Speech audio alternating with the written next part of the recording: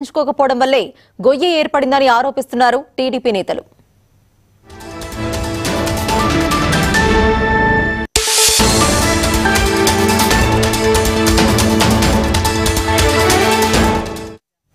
ఇదే అంశానికి సంబంధించి మరింత సమాచారం కర్నూలు నుంచి మా కరెస్పాండెంట్ సురేష్ లైవ్లో అందిస్తారు. సురేష్. ఎస్ సుజన ప్రస్తుతం మనం కర్నూలు జిల్లా సుంకేశ్వర రిజర్వాయర్ వద్ద ఉన్నాము.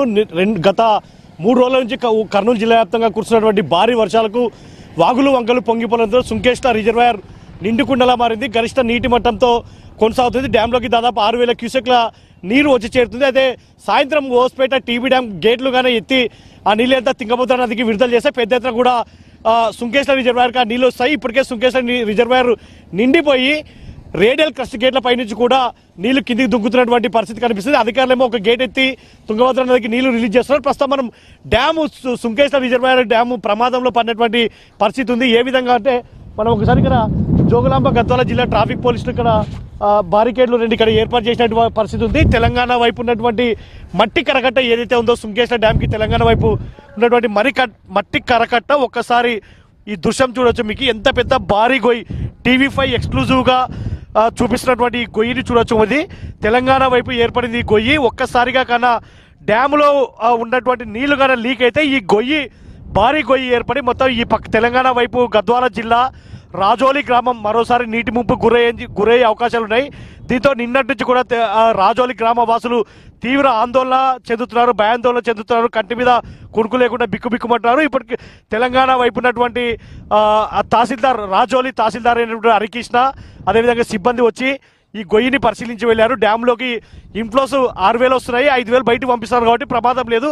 అదే పైనుంచి భారీ వర్షాలు కురిసి నీళ్ళు పెద్ద ఎత్తున తుంగభద్ర నదికి నీళ్ళు వస్తే డ్యామ్ ఈ గొయ్యి పెద్దగా అయిపోయి మొత్తం రాజోల్ గ్రామంలోకి నీళ్ళు నీళ్ళు వచ్చే అవకాశం ఉంది. పెను ప్రమాదం జరిగే అవకాశం ఉంది. రెండు వేల తొమ్మిది వరదలు సమయం పునరావృతమయ్యే అవకాశం ఉంది కాబట్టి వెంటనే ఈ మట్టి మట్టి కరకట్టని ఏదైతే గొయ్యి ఏర్పడిందో ఈ గొయ్యిని పూడ్చాలని చెప్పేసి రాజోలి తహసీల్దార్ హరికృష్ణ కూడా సుంకేశ్వర డ్యామ్ని పరిశీలించి సుంకేశ్వర డ్యామ్ అధికారులకి సూచించడం జరిగింది. దీంతోపాటు కర్నూలు జిల్లా ఇరిగేషన్ అధికారులకు సూచించారు. అయితే ఇప్పుడు అధికారులు ఎందుకంటే ఈ గొయ్యి ఏర్పడిన భాగము ఏపీ వైపు కర్నూలు జిల్లా వైపే ఉన్నప్పటికీ ఈ గొయ్యి పెద్దదిగానే అయిపోయి ఒక్కసారిగా డ్యామ్ పగిలిందంటే ఈ నీళ్ళలో కూడా రాజోలి గ్రామాన్ని ముంచుతాయి కాబట్టి పక్కనే ఒక పెద్ద వాగు ఉంది. ఆ వాగు ఇవి రెండు ఏకమైపోయి నీళ్ళు ఎనిక్కి కొట్టి రాజోలి గ్రామం మునుగుతుందని చెప్పేసి రాజోలి గ్రామ వాసులు తీవ్ర స్థాయిలో ఆవేదన ఆందోళన చెందుతున్నారు. వెంబడి అధికారులు ఇప్పటికే ముఖ్యమంత్రి చంద్రబాబు నాయుడు రాష్ట్రంలో కూర్చున్నటువంటి వర్షాలు వరదల మీద అధికారులతో ఎప్పటికప్పుడు కూడా సమీక్ష నిర్వహిస్తున్న నేపథ్యంలో ఇప్పుడు తెలంగాణ వైపు ఏర్పడినటువంటి మట్టి కరగట్ట ఏదైతే పెద్ద భారీ గొయ్యి ఏర్పడింది టీవీ ఫైవ్ ఎక్స్క్లూజివ్గా దీన్ని చూపిస్తున్నాం. పెన్ను ప్రమాదం జరగక ముందుకే అధికారులు స్తంభించాలి. ఇది- ఇదంతా కూడా గత ఆ వైసీపీ ప్రభుత్వం ఐదేళ్ళ పాలనలో ప్రాజెక్టుల నిర్వహణని భద్రతని గాలి కొదిలేయడము ఏమాత్రం పట్టించుకోకపోవడము శాశ్వత మరమ్మతు పనులు చేపట్టకపోవడం వల్ల ఇప్పుడు ఇది ఏదైనా జరిగితే ప్రమాదంతో కూడా ప్రస్తుత ప్రభుత్వానికి చెడ్డ పేరు వచ్చే అవకాశాలు ఉన్నాయి. సో అధికారులు వెంటనే స్పందించాలి అని తెలంగాణ వైపు ఉన్నటువంటి అధికారులు కోరుతున్నారు. రాజోలి ప్రాంత వాసులలో కూడా తీవ్ర ఆందోళన చెందుతున్నారు. మరోపక్క భారీ గొయ్యి ఉంది. సుంకేశ్లకి ఈ రోజు రాత్రి భారీ వరదగానే వచ్చి ఇన్ అవుట్లోగానే పె- పెరిగిందంటే ఈ ఒక్కసారిగా ఈ మట్టి కరగట్ట కుండిపై డ్యామ్ అంటే డ్యామ్లో నీళ్ళలో కూడా ఇట్లా తెలంగాణ వైపు వచ్చే అవకాశం ఉంది. దీంతో తెలంగాణ ప్రాంత వాసులు రాజోలి ప్రాంత వాసులు భయంతో బిక్కుబుక్కుమంటారు. తహసీల్దార్ కూడా జిల్లా కలెక్టర్ దృష్టికి దృష్టికి తీసుకెళ్ళారు. ఈ విషయాన్ని తెలంగాణ వైపు గద్వాల జిల్లా కలెక్టర్ దృష్టికి కూడా తీసుకెళ్ళారు.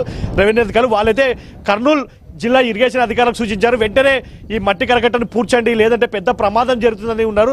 అధికారులు మళ్ళీ చూడాలి ఇది ఎంతసేపటి లోపల పూడుస్తారని. అదే ఇప్పటి వరకు కూడా వాన తగ్గింది కాబట్టి ఈ మట్టి కరకట కుంగడం కాస్త ఆగింది. అదే ఏ కంటిన్యూగా వాన ఫ్లోగా కంటిన్యూ పడడము టీ- ఉన్న పెదాయిట్రా మనకు రాజోలి వైపు నుంచి ఇక్కడ గ్రామ ఇక్కడ ఉన్నారు తలారి ఎప్పుడు వారింది ఈ ఎప్పుడు ఏర్పడింది ఈ గొయ్యి కనిష్ట అంటే ఒక మూడు నెలలు అయింటది. అయితే మూడు నెలల నుండి రెండోది దీన్ని అధికారులు ఎవరు పట్టించుకోలే. పట్టించుకోపోతే రెండోది ఇంకా ఇది సరేలే ఏమి ఎట్లా ఏం కథ అని వాళ్ళు అట్లా. రాజోలి వాళ్ళు భయపడుతున్నారా? రాజోలి వాళ్ళు? రాజోళ్ళు వాళ్ళు భయపడేది కదా సార్ అసలుకి ఊరుడిసి పో- పో- పోవాలని కూడా ఆలస్యం చేస్తుంటే సార్ ఈ గొయ్యి వల్ల. ఊరు ఊరు విడిచిపెట్టి అంటే ఏంటి- గురించి అంటే రెండోది ఇంతకు ముందు దెబ్బతిన్నాం మేము. ఇదే గొయ్యిలు ఉంటే ఇది ఈ గొయ్యి దీన్ని సరైన పొజిషన్ సొందించలేదు దీన్ని. సొందించిన దానికి రెండోది ఈ గవర్నమెంట్ కూడా రెండోది రాయలసీమ గవర్నమెంట్ రెండోది మన తెలంగాణ ఈ గొయ్యి పలిగిపోతే మీ ఊరు మునిగిపోతుందా? ఆ మునిగి మునిగిపోతుంది? సార్. ఆ మునిగిపోతే మునిగిపోయి కూడా ఊరి నుంచి పోయినాం సార్ ఇంతకు ముందు. ఆ. పోయి రెండు చాలా బాధపడినాము రెండోది ఒకరు ఒక్కొక్క కుటుంబం నెల నెల వేరే ఊర్లో బతికొచ్చినాం. నిన్నటి నిన్నటి నుంచి భయం భయంతో అవును సార్ భయం ఏంది గొయ్య వీడ పడిందంటేనే భయం రాజులంతా భయపడుతుంది సార్ ఇప్పుడు కూడా.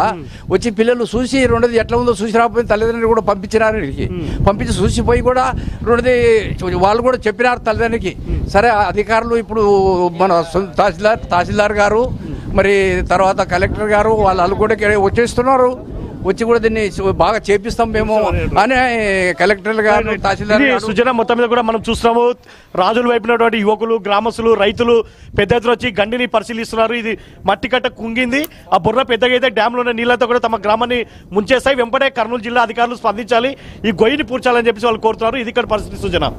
థ్యాంక్ యూ సురేష్ బులెటిన్లో షార్ట్ బ్రేక్